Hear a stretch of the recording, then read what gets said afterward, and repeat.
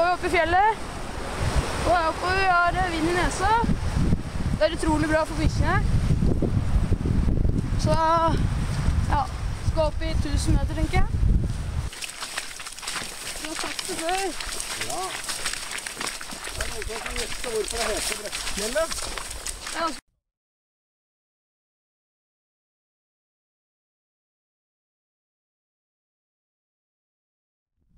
Det er ganske Jeg har den nå i nesa, altså.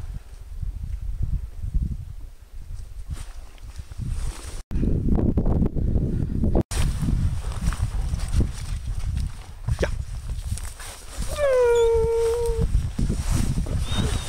Er du helt sikker på at du har lyst til å gå? Ja. Nei.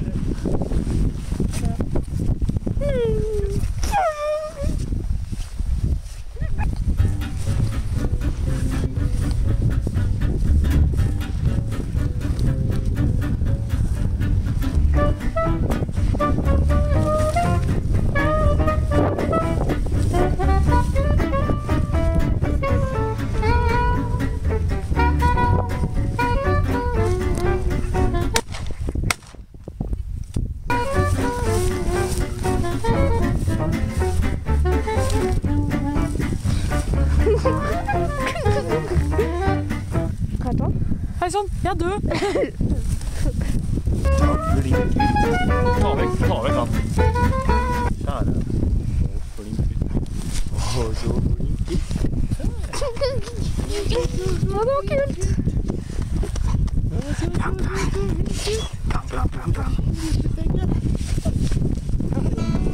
Han rapporterte.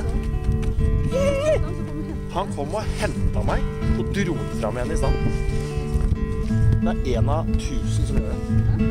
Det fins ikke. Det er, det er unikum. det heter å rapportere. Det er første gang. Så det er 500 hektar. Er det som å dumpe tiur? Det er helt utrolig bra.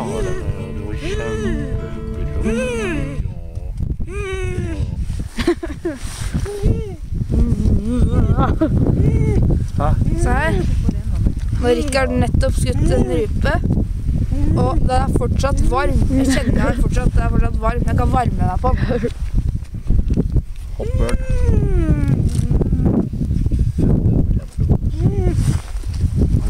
Det var jo så utrolig kult, selv om det ikke var jeg som skjøt. Og det skjedde veldig fort, men det var bare pang, pang! Og så bare Jeg hadde fjerde i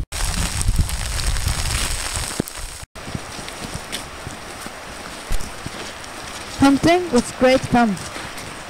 And I promise this is not the last hunting video you will see from me.